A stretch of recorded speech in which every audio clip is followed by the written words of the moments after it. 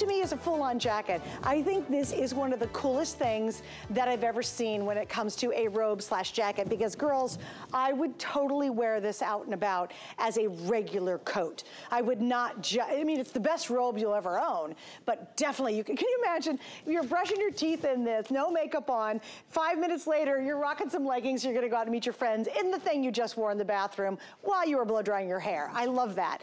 Girl, tell me about this.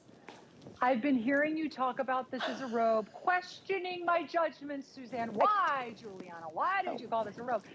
You, my friend, are absolutely right. This is not made for being at home and not being outdoors. This is absolutely meant to be an outside piece, Suzanne. It's just that the look is that robe look. Do you know what I mean? And okay. that's actually what people are wearing out and about. So you are absolutely right. It's just in the name.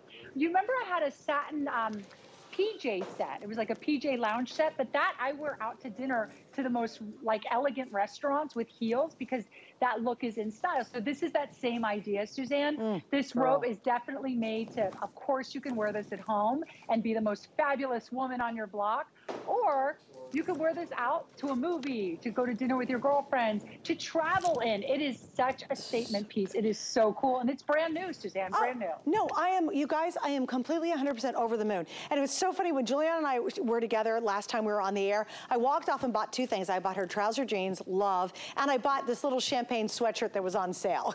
I did get it, I got it, I got the champagne sweatshirt. It's very cute because I have a it. Bubbles tennis group, right?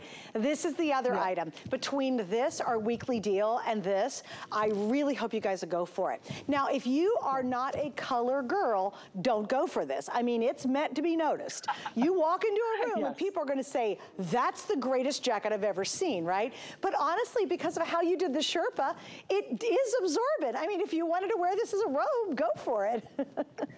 Honestly, Suzanne, if you want to wake up, like right now, I have a puppy. He's over there now. He's moved from Aww. his teepee over there. He's sleeping. Aww. But I wake up a couple times in the middle of the night. I always have my robe by my bed, right? So this is now, now that I just got this in, I could have this in the middle of the night to go do that quick little walk outside, right? I can have this around the house to be very comfortable to come out of the shower. Absolutely. But you know how this looks really cool? With some wide leg jeans, a cute little t-shirt, even a turtleneck is so cute under this.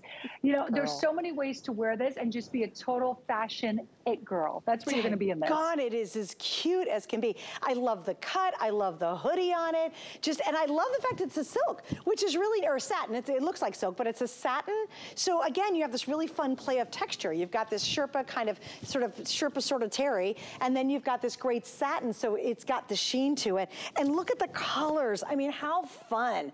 I don't know, girl. This is the best robe I've ever seen in my entire life, and I've